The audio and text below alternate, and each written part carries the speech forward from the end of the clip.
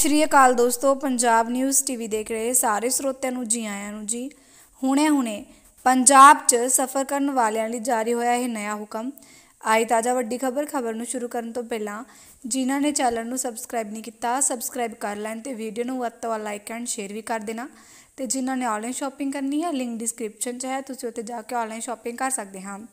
ਜ਼ਿਲ੍ਹੇ ਵਿੱਚ ਕੋਵਿਡ-19 ਦੇ ਪੋਜ਼ਿਟਿਵ ਮਾਮਲੇ ਵਿੱਚ ਆਈ ਕਮੀ ਦੇ ਮੱਦੇਨਜ਼ਰ ਜ਼ਿਲ੍ਹਾ ਮੈਜਿਸਟ੍ਰੇਟ ਗਰੀਸ਼ ਦਿਲਿਆਨਲ ਨੇ 7 ਮਈ 2021 ਨੂੰ ਜਾਰੀ ਕੀਤੇ ਗਏ ਹੁਕਮਾਂ ਵਿੱਚ ਕੁਝ ਤਬਦੀਲੀਆਂ ਕੀਤੀਆਂ। ਇਹ ਤਬਦੀਲੀਆਂ ਅਗਲੇ ਹੁਕਮਾਂ ਤੱਕ ਤੁਰੰਤ ਪ੍ਰਭਾਵ ਨਾਲ ਲਾਗੂ ਰਹਿਣਗੀਆਂ। ਜ਼ਿਲ੍ਹਾ ਮੈਜਿਸਟ੍ਰੇਟ ਨੇ ਦੱਸਿਆ ਹੈ ਕਿ ਇਸ ਸਮੇਂ ਕੋਵਿਡ-19 ਨੂੰ ਕੰਟਰੋਲ ਕਰਨ ਲਈ ਇਸ ਦੇ ਪ੍ਰਬੰਧਨ ਦੀਆਂ ਲੋੜਾਂ ਅਤੇ ਲੋਕਾਂ ਦੀ ਰੋਜ਼ੀ ਰੋਟੀ ਨੂੰ ਬਚਾਉਣ ਅਤੇ ਸੁਰੱਖਿਅਤ ਕਰਨ ਵਿਚਕਾਰ ਸੰਤੁਲਨ ਬਣਾਈ ਹਿੱਤ ਪਿਛਲੇ ਹੁਕਮ ਵਿੱਚ ਕੁਝ ਤਬਦੀਲੀਆਂ ਕੀਤੀਆਂ ਗਈਆਂ ਹਨ। ਉਹਨਾਂ ਕਿਹਾ ਕਿ ਇਹਨਾਂ ਸੋਧਾਂ ਅਨੁਸਾਰ ਸ਼ਰਾਬ ਦੇ ਠੇਕੇ ਵੀਕਐਂਡ ਕਰਫਿਊ ਦੌਰਾਨ ਬੰਦ ਰਹਿਣਗੇ। ਸ਼ਹਿਰੀ ਖੇਤਰਾਂ ਵਿੱਚ ਓਡ ਈਵਨ ਢੰਗ ਨਾਲ ਦੁਕਾਨਾਂ ਖੋਲਣ ਤੇ ਬੰਦ ਕਰਨ ਲਈ ਕਿਹਾ ਗਿਆ ਹੈ। ਨਿੱਜੀ ਦਫ਼ਤਰਾਂ ਨੂੰ ਬਿਨਾਂ ਕਿਸੇ ਵੱਖਰੀ ਮਨਜ਼ੂਰੀ ਤੋਂ ਖੋਲਣ ਦੀ ਮਨਜ਼ੂਰੀ ਹੈ, ਪਰ ਭੀੜ ਭੜਾਕੇ ਤੋਂ ਬਚਣ ਲਈ ਸਿਰਫ ਪੰਜਾਬ ਸਿੱਧੀ ਸਟਾਫ ਨੂੰ ਕੰਮ ਬੁਲਾਇਆ ਗਿਆ ਹੈ। ਇਸ ਤੋਂ ਇਲਾਵਾ ਨਿੱਜੀ ਵਾਹਨ ਵਿੱਚ ਸਫ਼ਰ ਕਰਨ ਵਾਲੇ ਮੁਸਾਫਰਾਂ ਦੀ ਗਿਣਤੀ ਸੰਬੰਧੀ ਪਾਬੰਦੀਆਂ ਵਾਪਸ ਲੈ ਲਈਆਂ ਗਈਆਂ ਹਨ। ਹਾਲਾਂਕਿ ਇਹ ਪਾਬੰਦੀਆਂ ਵਪਾਰਕ ਵਾਹਨਾਂ, ਟੈਕਸੀਆਂ ਆਦਿ ਤੇ ਲਾਗੂ ਰਹਿਣਗੀਆਂ। ਪਹਿਲਾਂ ਤੋਂ ਲਾਗੂ ਕੀਤੀਆਂ ਪਾਬੰਦੀਆਂ ਜੋ ਅੱਗੇ ਵੀ ਲਾਗੂ ਰਹਿਣਗੀਆਂ, ਉਹਨਾਂ ਅਨੁਸਾਰ ਸਵੇਰੇ 5 ਵਜੇ ਤੋਂ ਸ਼ਾਮ 5 ਵਜੇ ਤੱਕ ਦੁਕਾਨਾਂ ਖੁੱਲੀਆਂ ਰਹਿ ਸਕਦੀਆਂ ਨੇ।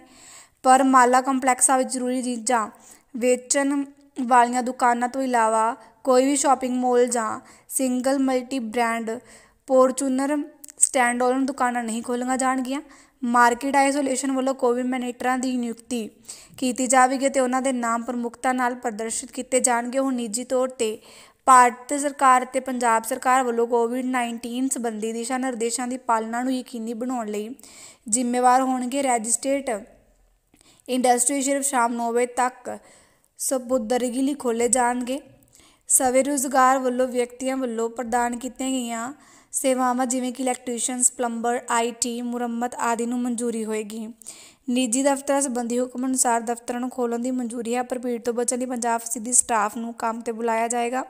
ਸਾਰੇ ਦਫ਼ਤਰਾਂ ਦੇ ਮੁਖੀਆਂ ਵੱਲੋਂ ਘਰ ਤੋਂ ਕੰਮ ਨੂੰ ਉਤਸ਼ਾਹਿਤ ਕੀਤਾ ਜਾਏਗਾ। ਇਸ ਤੋਂ ਇਲਾਵਾ ਕਰਿਆਨਾ, ਦੁੱਧ, ਦਵਾਈਆਂ, ਰੈਸਟੋਰੈਂਟਾਂ, ਵਾਹਨਾਂ ਦੀਆਂ ਵਰਕਸ਼ਾਪਾਂ, ਸਰਵਿਸ ਸਟੈਂਡਾਂ ਅਤੇ ਗਲੇਡ ਸਿਹਾਈ ਸੁਸਾਇਟੀਆਂ ਦੇ ਅੰਦਰ ਛੋਟੀਆਂ ਦੁਕਾਨਾਂ ਦੇ ਸਥਾਨਕ ਲੋੜਾਂ ਦੀ ਪੂਰਤੀ ਕਰਦੀਆਂ ਨੇ। ਉਹ ਵੀ ਵੀਕਐਂਡ 'ਚ ਛੋਟ ਦਿੱਤੀ ਗਈ ਹੈ ਖੁੱਲ੍ਹਣ ਦੀ ਅਤੇ ਖਬਰ ਨੂੰ ਲਾਸਟ ਤੱਕ ਦੇਖਣ ਲਈ ਤੁਹਾਡਾ ਬਹੁਤ